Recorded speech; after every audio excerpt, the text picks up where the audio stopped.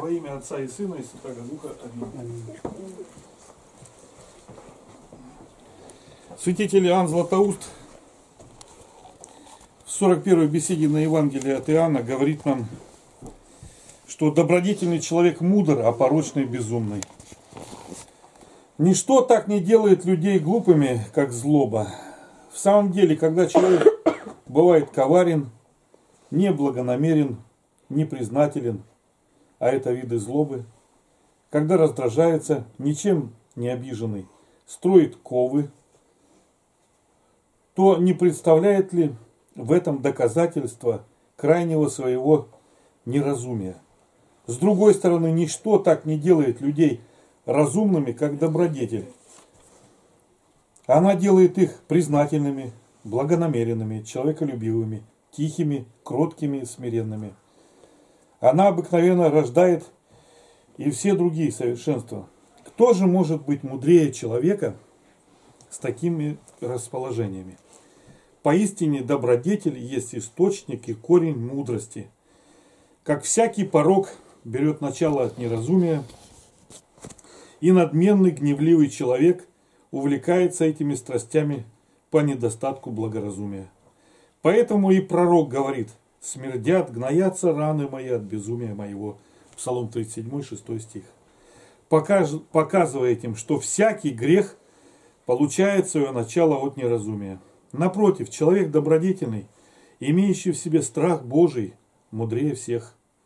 Потому и некто мудрый говорит, начало премудрости – страх Господень. Притча 1 глава 7 стих. Если же бояться Бога значит иметь мудрость, а порочный – не имеет этого, то без сомнения он лишен мудрости. А лишенный истинной мудрости бессмысленнее всех. Хотя многим люди порочным удивляются, потому что они могут делать другим обиды и вред, но не понимают, что таких людей должно считать несчастнейшими из всех, потому что, думая вредить другим, они вонзают меч в себя самих.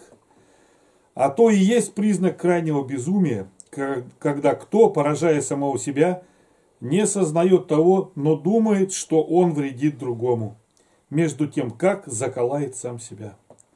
Потому и Павел, зная, что, поражая других, мы убиваем себя самих, говорит, для чего бы вам лучше не остаться обиженными? 1 Коринфянам 6 глава 7 стих.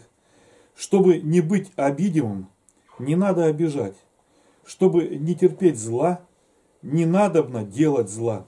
Хотя это может показаться загадкой людям обыкновенным и не желающим любомудрствовать. Итак, зная это, будем считать несчастными и оплакивать не обижаемых и оскорбляемых, а делающих другим обиды и оскорбления.